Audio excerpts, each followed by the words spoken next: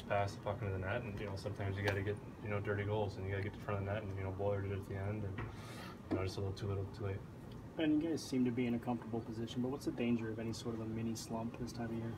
Obviously, you know it's a tight race. We won nine games in a row, and we're in second place, and you know there's no room for that because you see when you win nine in a row, you don't really go anywhere. So. Uh, you know, it's just important not to, you know, fall on the wrong side of thing. Obviously, you got a point last game, and you know, we lose tonight, so it's just gonna be important, you know, win the next game.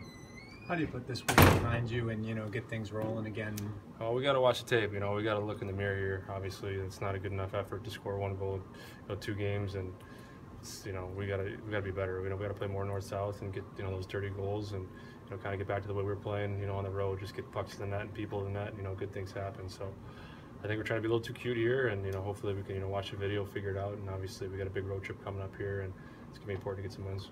Ever cease to amaze you that you know you guys are winning nine in a row, things be pretty good, all of a sudden everything just slips away so quickly?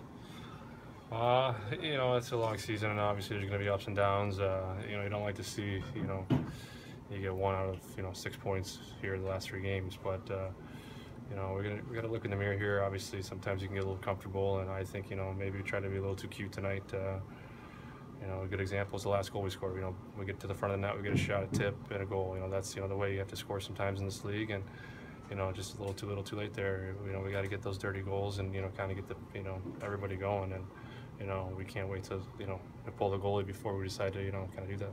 How much of a difference was that getting in front of the net? Seemed like they did a good job of getting in front of you, and obviously the first goal was off JT, but you know. Yeah, I- you know, I thought we did a good job defensively. We didn't really give them too much. Obviously, you know, the first one's you know pretty lucky, and then obviously the second one, they're gonna score power play goals. Uh, you know, they're a good power play team, and you know we've been pretty good on the penalty kill, and that's the first one we've kind of given up, and you know I think along